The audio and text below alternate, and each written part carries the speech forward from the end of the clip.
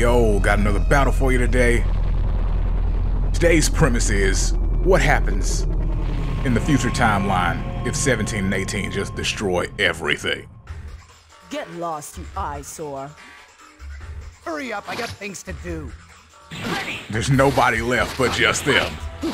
So who's superior? Power Blitz. 17 starts with the damage. His pimp hand is strong. Smacked her right across her face, sent her flying across the screen. Power Blitz. Dodge. 17 is taking no damage.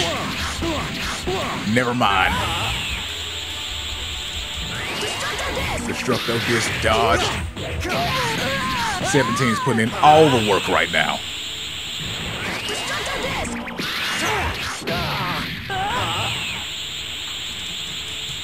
I think his costume gives him a plus 20 to savagery. Oh, but here comes the rush. This could be just what she needs to start bringing it back.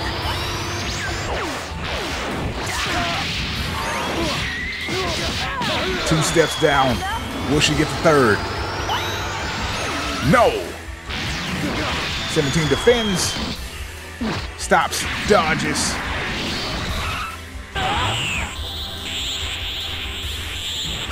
But look at that.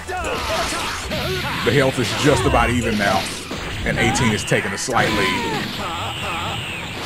No more games. No more games from 17. Oh, the Accel Dance.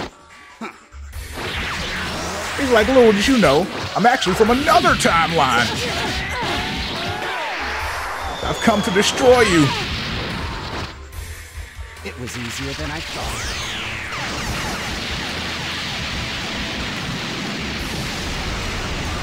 She did get to the fence though. My goodness. Tapped him so hard he just fell over. And the same thing happened back the other way, except he needed a whole combo to knock her out. Power Blitz, it's over. Not bad, I guess.